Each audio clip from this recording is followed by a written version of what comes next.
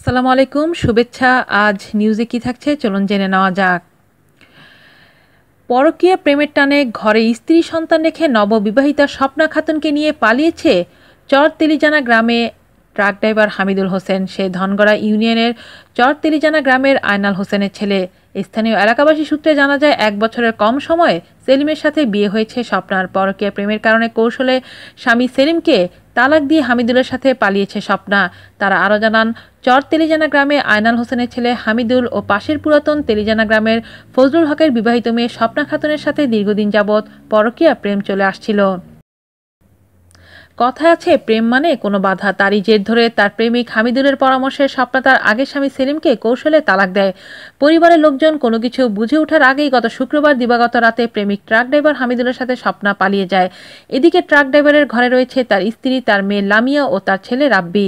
তাদের মাথায় যেন আকাশ ভেঙে পড়েছে। গরিব পরিবারের একমাত্র উপার্জনকারী হলো ট্রাক ড্রাইভার হামিদুল, কিন্তু সে এখন অন্যের বউকে নিয়ে উধাও। স্বামীর এই ধরনের কার্যকলাপে স্ত্রী লিলি খাতুন তার ছেলে মেয়েকে নিয়ে বাবার বাড়ি চলে গেছে। পরিবারের মধ্যে চলছে এক হতাশাগ্রস্ত অবস্থা। সরজমিনে হামিদুলের বাসায় গেলে তার মা জানান, তার ছেলে বাসায় নেই, শুনেছি সে নাকি একটা মেয়েকে নিয়ে পালিয়েছে। তার ফোনে ফোন করলে সে আমাদের ফোন ধরছে না। কোথায় আছে আমরা কিছুই জানি না। এই নিয়ে আমরা দুদিন যাবৎ খুব টেনশনে আছি। তাছাড়াও তার ঘরে রয়েছে এক ছেলে, এক মেয়ে ও তার বউ। আবারও মা হতে চলেছে, কিন্তু এরকম অবস্থায় হামিদুল এই কাজটা কেমনে করল? আমরা কিছুই বুঝতে পারছি না। এলাকাবাসী আরও জানান, হামিদুলের পরিবার তেমন সচ্ছল নয়। তার পরিবার ও ছেলে মেয়ে কীভাবে চলবে, কীভাবে লেখাপড়া করবে, এটাই এখন প্রশ্ন। আজ এ পর্যন্তই। আল্লাহ হাফেজ।